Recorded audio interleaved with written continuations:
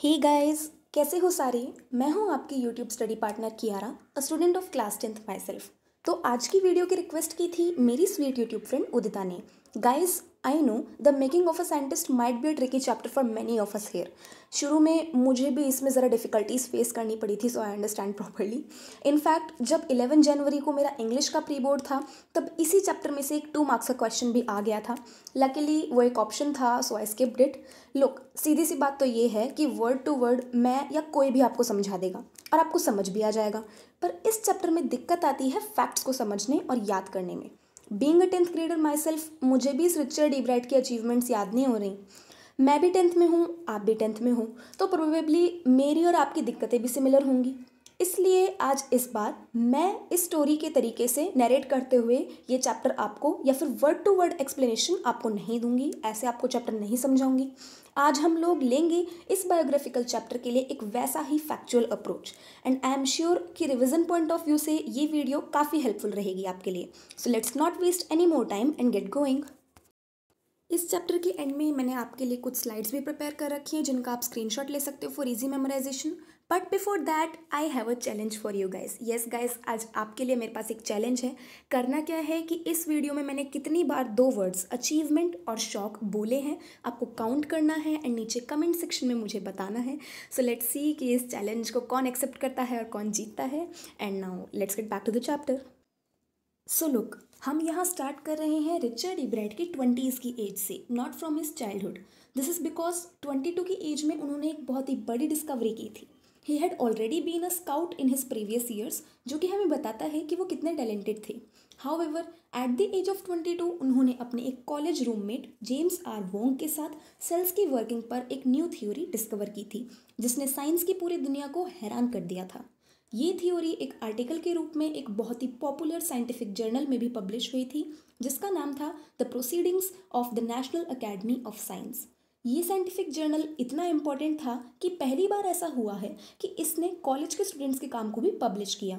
ये एक इतनी बड़ी अचीवमेंट थी, मानो किसी ने पंद्रह साल की छोटी सी उम्र में बिग लीग्स बनाई हूँ या बेसबॉल के गेम में पहली बार बैटिंग करते ही होम रन बना लिया हो।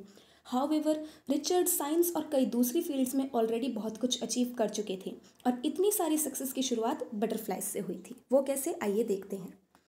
रिचर्ड अपने पेरेंट्स के इकलौते बेटे थे और वो पेंसिल्वेनिया के रीडिंग नाम के शहर में नॉर्थ साइड में रहते थे। बींग एन ओनली चाइल्ड, वो इतना कुछ नहीं कर सकते थे जैसे बेसबॉल खेलना, फुटबॉल खेलना जो कि टीम वाले गेम्स हैं। पर what he did was to collect things ये पहले कभी मेरा भी एक शौक था so I can relate kindergarten की उम्र से ही इब्राइट बड़े डिटर्मिनेशन के साथ बटरफ्लाइज इकट्ठी करते थे। साथ साथ पत्थर फॉसल्स और कॉइन्स भी। इसके साथ ही उन्हें स्टार गेजिंग यानी रात में स्टार्स और उनके कंस्टलेशंस देखने का बहुत शौक था, जिसके कारण वो एक ईगर यानी विलिंग एस्ट्रोनॉमर भी थे। पर लेकिन इब्राइट की मासिव सक्सेस के पीछे उनकी मदर का भी काफ़ी कंट्रीब्यूशन है। वो हमेशा उसको इनक्रेज करती, उसे ट्रिप्स पर लेकर जाती टेलीस्कोप्स, माइक्रोस्कोप्स कैमराज और बाकी माउंटिंग इक्विपमेंट भी उसे खरीद कर देती थी, जिसके कारण उसे अपने एक्सपेरिमेंट्स में काफ़ी हेल्प मिली और उनका इंटरेस्ट चलते रहा। वो प्यार से रिचर्ड को रिची बुलाती थी। रिचर्ड की फादर की डेथ तभी हो गई थी जब वो थर्ड क्लास में थी, इसलिए वो अपनी मदर के काफ़ी क्लोज थे। दोनों हर शाम डाइनिंग टेबल पर साथ में समय बिताते। इब्राइट को भी सीखने का काफ़ी शौक था तो उनकी मदर उन्हें कुछ ना कुछ काम देती रहती थी। कभी कुछ याद करना, कभी कुछ। This kept him really active Ebright पहले ही एक ब्राइट चाइल्ड थे और स्कूल के टॉपर थे। बाकी पढ़ाई के अलावा वो और बच्चों ही की तरह खेलते, घूमते, कूदते रहते थे। उन्हें बटरफ्लाइज कलेक्ट करना बहुत पसंद था कि बाय द टाइम वो सेकंड क्लास में आए, अपने होम टाउन रीडिंग के पास की बटरफ्लाइज की पूरी 25 की 25 स्पीशीज़ यानी नस्लें उन्होंने कलेक्ट कर ली थी। यानी इतनी छोटी सी उम्र में वो ऑलरेडी इतने बड़े स्तर पर काम कर रहे थे। हेयर इन दिस टेबल आप देख सकते हैं कि रीडिंग में जो सिक्स वीक्स का बटरफ्लाई कलेक्टिंग सीज़न होता है, उसमें कौन कौन सी नस्लें थीं जो रिचर्ड ने कलेक्ट की? वो रियली हम इमेजिन नहीं कर सकते कि उन्होंने ऐसा कैसे किया होगा how he manage to do so क्योंकि बटरफ्लाइज को पकड़ना इतना मुश्किल होता है। हाउ एवर उसके बाद रिचर्ड ने बटरफ्लाइज कलेक्ट करनी बंद कर दी थी। और शायद से वहीं उनका ये शौक हमेशा के लिए गायब भी हो जाता। पर लेकिन उनकी लाइफ में उस समय एक टर्निंग पॉइंट तब आया जब उनकी मदर ने उनके इस टैलेंट को देखते हुए उन्हें एक बुक दी, जिसका नाम था the travels of monarch X monarch butterflies की ही एक स्पीशी है। और उस बुक में बताया गया था कि कैसे मोनार्क बटरफ्लाइज सेंट्रल अमेरिका तक माइग्रेट करती हैं। ये बुक उनके लिए इतनी इम्पोर्टेंट इसलिए रही because it open the world of science to him इसी बुक के कारण उनका बटरफ्लाइज में इंटरेस्ट और भी बढ़ गया। बुक के एंड में रीडर्स को प्रॉम्प्ट किया जाता था, उन्हें कहा जाता था कि वो बटरफ्लाइज की माइग्रेशंस को स्टडी करने में हेल्प करें। टोरंटो यूनिवर्सिटी जो कि कनाडा में है, उसके professor doctor Frederick A Urquhart I am sorry ये बहुत ही अजीब सी प्रोनाउंसिएशन है तो डॉक्टर फ्रेड ने रीडर्स के लिए मतलब रीडर्स को रिसर्च के लिए बटरफ्लाइज को टैग करने के लिए कहा था। इस टैगिंग में होता क्या है कि बटरफ्लाइज को पकड़कर उनके विंग्स के निचले हिस्से पर एक एधेसिव यानी चिपकने वाला टैग लगा दिया जाता है छोटा सा। उस टैग पर उस बटरफ्लाई की कैचिंग लोकेशन के बारे में इंफॉर्मेशन होती है कि उसे किधर पकड़ा गया। फिर उसे छोड़ दिया जाता है एंड उड़ते उड़ते वो जहाँ पहुँचती है, उधर रिसर्चर्स उसे ढूंढ उस टैग के थ्रू पता लगा सकते हैं कि बटरफ्लाई किधर से आई है। इसके थ्रू वो उसकी ट्रैवलिंग हिस्ट्री के बारे में रिसर्च कर सकते हैं। तो एब्राइट को तो पहले ही बटरफ्लाइज कलेक्ट करने का शौक था। उनकी मदर ने डॉक्टर उर्कुहार्ट को उसके इस इंटरेस्ट के बारे में एक लेटर लिखा। एज अ रिज़ल्ट इब्राइट को उनसे इंस्ट्रक्शंस मिले and he started tagging butterflies Ebright की होम टाउन रीडिंग में समर्स के दौरान बटरफ्लाई कलेक्टिंग सीज़न केवल सिक्स वीक्स के लिए ही होता था, जिसके कारण उन्हें पकड़ना काफ़ी मुश्किल रहता था, क्योंकि इतने कम समय में आखिर कितनी बटरफ्लाइज पकड़ सकेंगे हम। एक एक करके इतनी बटरफ्लाइज नहीं पकड़ी जा सकती थी। इसलिए what Richard did is that he raised a flock of butterflies यानी उन्होंने एक तरह से बटरफ्लाइज को पालना शुरू किया। वो एक फीमेल मोनार्क को पकड़ते, उसके एग्स को लेते और अपने घर की बेसमेंट में उन्हें रखते। लाइफ साइकिल के चलते वो एग्स बटरफ्लाइज बन जाते, जिसके कारण इब्राइट के पास बहुत सारी मोनार्क बटरफ्लाइज हो जाती। उनकी टैगिंग करके वो उन्हें रिलीज़ कर देते। इस तरह कई सालों तक रिचर्ड का बेसमेंट मोनार्क बटरफ्लाइज का घर बना रहा। लेकिन इवेंचुअली यानी समय के साथ साथ रिचर्ड का टैगिंग में इंटरेस्ट खोना शुरू हो गया। इट वॉज़ बिकॉज़ ये एक टेडियस यानी काफ़ी मेहनत लेने वाला पर बोरिंग काम था और उन्हें ज़्यादा फीडबैक यानी रिस्पॉन्स या आंसर्स नहीं मिलते थे। इससे मुझे याद आया, अभी के अभी मुझे फीडबैक दो कमेंट सेक्शन में कि आपको चैप्टर समझ आ रहा है या नहीं आ रहा और ये अप्रोच आपको कैसा लगा। खैर, हम चैप्टर की ओर बढ़ते हैं। तो रिचर्ड को इतने रिस्पॉन्स इतना फीडबैक नहीं मिलता था। इनफैक्ट उनके द्वारा टैग्ड बटरफ्लाइज में से केवल दो को ही दोबारा पकड़ा गया। वो भी आसपास के एरिया में ही थी about seventy five miles from where Richard lived this shows कि इतनी मेहनत के बावजूद टैगिंग से इब्राइट को उतने रिजल्ट्स नहीं मिले जितना वो डिज़र्व करते थे। अब जब वो सेवन्थ क्लास में आए तो उन्होंने एक काउंटी साइंस फेयर यानी रीजनल साइंस फेयर में ही पार्टिसिपेट किया, जिसमें वो हार गए। उन्होंने फ्रॉग के टिश्यूज़ की स्लाइड्स को एक माइक्रोस्कोप के नीचे डिस्प्ले किया था। उस दिन उन्हें पता चला कि रियल साइंस क्या होती है। जो भी विनर्स थे, उन्होंने असली एक्सपेरिमेंट्स किए थे, केवल डायग्राम्स डिस्प्ले नहीं किए थे। तब रिचर्ड को रियलाइज़ हुआ कि science is about doing research and experiments not neat displays now we get to know कि इब्राइट का बहुत ही कॉम्पिटिटिव नेचर था। अब उन्होंने डिसाइड किया कि अगले साल इस काउंटी साइंस फेयर के लिए वो असली एक्सपेरिमेंट करेंगे on insect work because he was really interested in it since his childhood days तो उन्होंने डॉक्टर उर्कुआर्ट से कॉन्टैक्ट किया, जिन्होंने उन्हें कई सारे आइडियाज़ और सजेशंस दिए। इन एक्सपेरिमेंट्स के कारण वो अपने हाई स्कूल ईयर्स में काफ़ी बिज़ी रहे और काउंटी साइंस फेयर्स और इंटरनेशनल फेयर्स में जीते भी।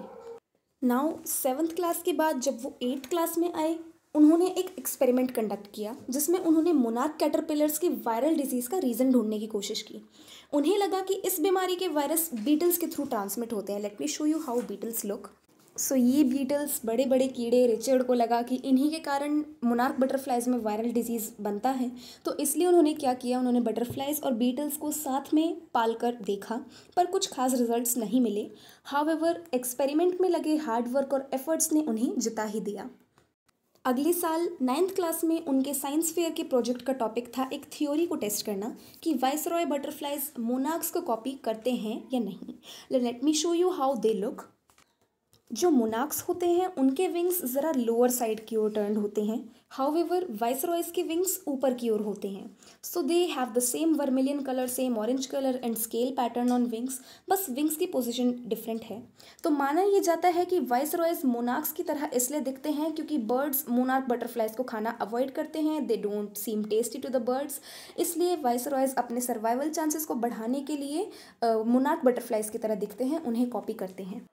अब एब्राइट ने क्या किया? उन्होंने एक्सपेरिमेंट किया कि बर्ड्स मोनार्क्स को खाते हैं या नहीं।